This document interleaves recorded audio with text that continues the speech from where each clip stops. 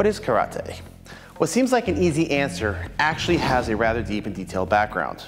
But before we get into that, let's first establish what karate is not.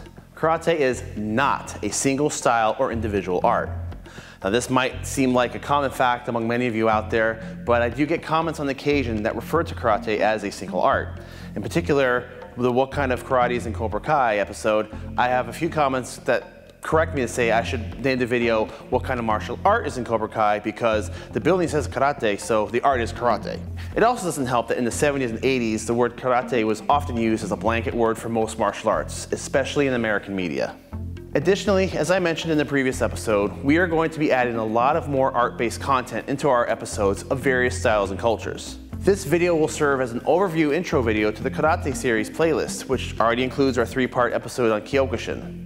As we go forward developing this channel, we will continue to add to the series with documentaries on individual arts and techniques. So for those of you who ask me if I will ever do a video on Goju-ryu, Shito-ryu, Shotokan, and so on, the answer is yes, and they will be a part of this growing series. So with that being said, let's take a few minutes to answer the question of what is karate?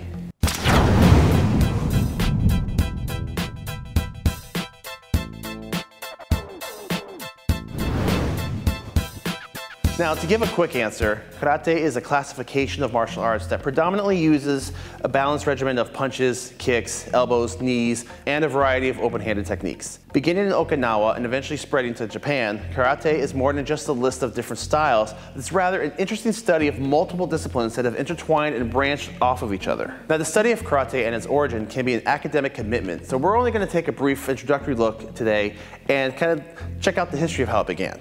To find the beginning of what we know as karate, we first need to look at its Okinawan roots, specifically the Ryukyu Kingdom, which was around from roughly 1429 to 1879. The Ryukyu Kingdom is a chain of islands in the Pacific, just south of Japan. Even though this kingdom was small, its location gave it an advantage in maritime trade the kings of Ryukyu decided to unify on the island of Okinawa and three principalities were established, the northern mountains, the central mountains, and the southern mountains. These would be known as the Three Kingdoms or the Three Mountains. The early roots of karate began to emerge as locally developed fighting systems called te, or hand. The Ryukyu kingdom had established a strong trade relationship with the Ming dynasty in China, and as a result, many Chinese fighting arts were also introduced to the islands of Okinawa. Over the course of many years, between Chinese families moving to Okinawa and upper-class Okinawans sent to China to study abroad, elements of Chinese fighting, particularly Fujian White Crane from the Fujian province, began to influence many of the local Okinawan styles. Now, study of the fighting arts was not always allowed in the kingdom, and in 1477, King Shoshin banned the study of martial arts. But despite the ban, many of them were still taught in secret. Now, over its lifetime, the Ryukyu system went through different reigns, starting as tributary states of the Ming and Qing dynasty, and then later taken under Japanese command. In 1609, the Satsuma domain of Japan invaded Okinawa and took control, and the ban of martial arts remained in place. It is believed that this was the beginning of taking farm tools and implementing them into secret weapons practice. The practitioners in Okinawa began to combine many different fighting styles together locally, taking much of the Chinese influence along with other local disciplines, and they formed Tode, which means Chinese hand or Tang hand. Now this was also referred to as Okinawan Te. After a while, three main styles of Te had begun to develop and their designation came from their cities of origin. Those cities were the capital city of Shuri, the city of Naha, which eventually took over Shuri when the Ryukyu kingdom fell and Okinawa became a prefecture of Japan, and also the port city of Tomari. These three main styles became respectively known as Shuri-te, Naha-te, and Tomari-te. Now there is a long list of practitioners who had great influence on the evolution of karate, and they would each be a great deeper study on their own. In this video today, however, I'm only going to touch on a few just in order to illustrate how karate began to spread and develop. We have a man by the name of Kanbun Uechi who took kata that he learned when he went to China and combined it with his own fighting style and he created the art of Okinawan Uechi-ryu. We also have the prominent figure of Chojun Miyagi, who combined his training in Nahate and other Chinese arts such as Fujian White Crane and established the very well-known art of Goju-ryu. Sakukawa Kanga began teaching an art in the city of Shuri that he called Tudi Sakukawa, or Sakukawa Chinese Hand. His most prominent student Matsumura Sokan, took on his teachings, combined Shuri-te with Tomari-te, added in some Shaolin influences, and created the art of Shorin-ryu, which would later become the foundation of Shotokan. Now his student, a man named Itosu Anko, adapted the art, created new standardized katas, and made a rather impressive push to implement karate into public schools, teaching students at a young age, and his additions to the art have remained with his katas appearing across multiple styles of karate, and he is sometimes referred to as the grandfather of modern karate. So we could spend a lot of time going into more lineage, but I hope that that at least gives you a good idea of where the roots were planted and how it began to branch off as the early karate practitioners, or karateka, made the arts their own.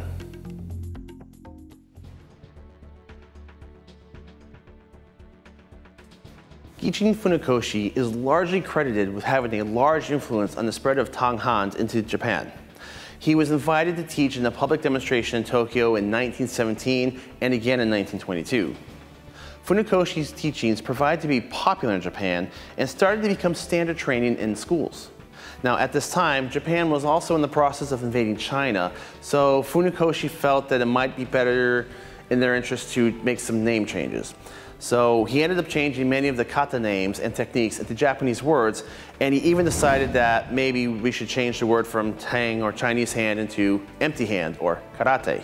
Now Funakoshi taught a mixture of the Okinawan arts of Shorin-ryu and Shorei-ryu, along with Kendo that he learned in Japan, and he simply referred to his art as karate, not giving it an official name. He also adopted the use of the karate gi and belt ranking system established by judo founder Jigoro Kano. Now we talked about that in great length in the previous video, how many belts are in karate, so I recommend you check that out. So if Funakoshi did not give his art a name, then where did the term Shotokan come from? Well, Funakoshi was also a poet, and he wrote under the pen name of Shoto, which means pine waves, as in pine trees waving in the wind. So when he established his own dojo in 1936, it was called the Shotokan. Kan means hall or house, so the name literally translates to the house of pine wave. It was simply meant to be the name of the training hall, but as time went on, it stuck and eventually became referred to as name of the art. People went to go train at the Shotokan, so people trained Shotokan. Today, Shotokan is one of the largest and influential styles of karate. Now from there, different branches of karate began to splinter, merge, and evolve into various disciplines. Shorin-ryu and Shorei-ryu formed the base of Shotokan.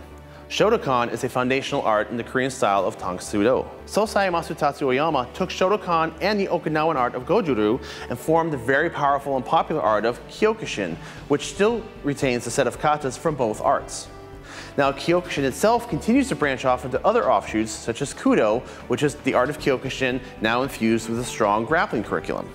And it doesn't stop there. Today we have the art of Gosoku-ryu, which is derived from Shotokan and Goju-ryu we have Isshin-ryu, derived from Goju-ryu, and Kobudo. Then there's Shito-ryu, the art practiced by legendary karate master Fumio Demura, which is derived from Shuri-te and Naha-te. And we also have Tang Soo Do, a Korean art that is sometimes referred to as Korean karate.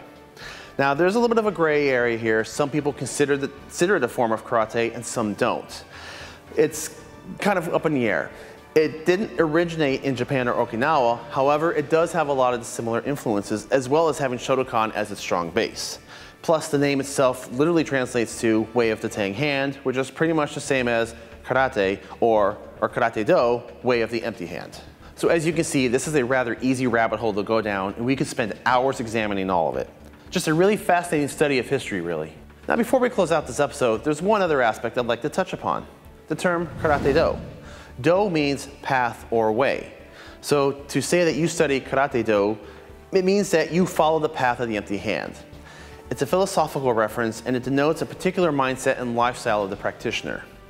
Now, this is in contrast to the term Karate Jutsu, which, in which Jitsu means method or technique. And in this context, it usually refers to the context of combat. So in a very, very simplified way, you can say that one is a mindset of state of being and the other is a method of fighting. And it's not just a distinction of Karate Do and Karate Jutsu. You can find similar relationships between Aikido, Aikijutsu, Judo, Jujitsu, Kendo, Kenjutsu, and so on. Now there is a major divide in the martial arts community.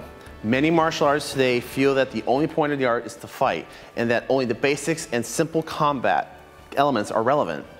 I mean, how many times have you heard the phrase or somebody refer to karate saying that it's totally useless, katas are garbage, and it should be completely thrown away? I don't know about you, but I hear it on almost a daily basis.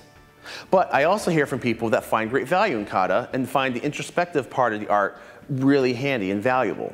So what it really comes down to is why you train. Some people want the martial arts to be a way of life, a method of psychological balance, health, focus, strength. Others want to engage in sport or competition, therefore focusing on the tactical and combat side of the arts. But there is also another way to look at it, a philosophy that I like very much. In simple terms, pure Karate Do is about strengthening your character. The focus is not on fighting, but rather finding your weaknesses, strengthening your focus, and finding peace in conflict resolution. Pure Karate Jitsu is all about the ability to fight, pure skill in combat, but the truth is, can you really have one without the other and still be a fully balanced martial artist? If you only focus on the philosophy, well then how can you better your character or find your weaknesses without that pressure testing of the intensity in real life, real life situations? And vice versa. If all you learn is punching and kicking, if all you care about is the fighting aspect, then what keeps your character in check? Sure, you can fight, but do you grow as a person? Without the introspective part of the training, what do you have? So I feel there's definitely a balance to find, and it really comes down to, again, what you yourself are personally looking for in the martial arts. So you've got two sides of the coin that work well together. There is a quote that was written by Funakoshi that I really like. It reads, one whose spirit and mental strength have been strengthened by sparring with a never say die attitude should find no challenge too great to handle. One who has undergone long years of physical pain and mental agony to learn one punch, one kick, should be able to face any task, no matter how difficult, and carry it through to the end. A person like this can truly be said to have learned karate. Thank you for watching. I really hope that you enjoyed this episode as an introduction to what we will continue to grow as our karate series. I would love to hear from any of you out there who practice any of these arts and also to vote on which arts you'd like to see covered first. So if you've got any recommendations, please send them our way. Also, please subscribe, share, join us on Patreon so that we can keep making more art history documentaries. Thank you.